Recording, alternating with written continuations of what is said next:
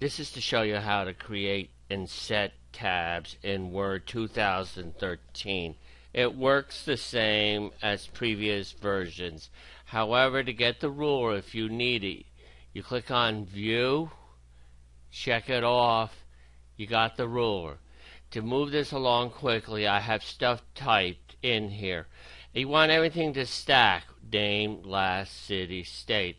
I'm gonna go on the Home tab put on the paragraph markers. Whenever you press a tab key, you get an arrow. As you can see, with the different widths of words, um, it affects. We want things to align. The first, one of the easy ways to do this is just to go into the ruler and just click, and you get things like uh, you're going to see a few things here, and as you can see, New Jersey is flying over. You just click on this, move it over. However, if you look here, you see you might want the numbers to be a decimal line. I could just pull this off. I click on that little thing over here, the one with a dot, the upside down T. Now, if you look at this, you'll see payment is a little bit different. You want this to be, let's say, aligned over here. I click only in this one line. I click till I get the left tab and then I click about here. Get rid of that other one. Pull it down.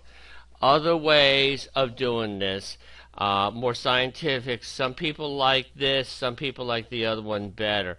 I'm going to click on the bottom paragraph group, click on tabs. I'm going to just say clear all, okay. Um, I'm going to start again. When you're doing this, if you see each paragraph marker, each line can have a different set of tabs. I'm highlighting all of this. If you're starting something for the first time, you may just want to go and arbitrarily choose them, fine tune it later on. So I go over here, tabs, and I'm going to click on make the first tab at about an inch one shows left set doesn't do anything until I say OK. Next tab will be 1.75 set. The next one will let's say be 3 set. Move this over. We need space for the payment. And I'm going to say set we're going to refine this for the numbers in a minute. I'm going to say, okay, not bad. But if we look over here, we could see we didn't change this one properly. What I would do is just move the city over to here. Click over here. Got that over there. Ooh, I just... You gotta be careful you don't get a whole bunch of little bugs up there. What I want to do is I want to do these lines here with the decimal tab. I just highlight these lines here and I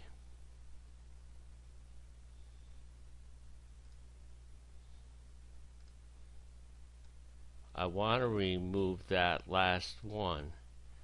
Going to say clear and I'm going I'm looking over here let's say about 4.8 4.8 click on decimal. We say okay you got that in there. Want to show you this thing with these tabs again. There's different ones you can do. A left tab you understand a decimal you understand. Center means everything goes under the middle. The bar puts a little line, something I really never used. Right A lines on the right. And then you've got a leader. I'll show you an example of this. So let's say you want to say chapter 1 and then you want a dot leader going to the page number. So we click on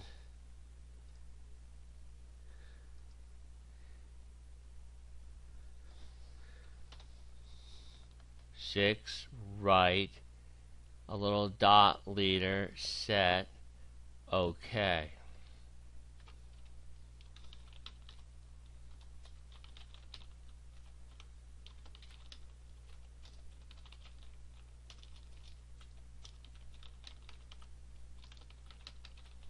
You can see everything aligning evenly on the right.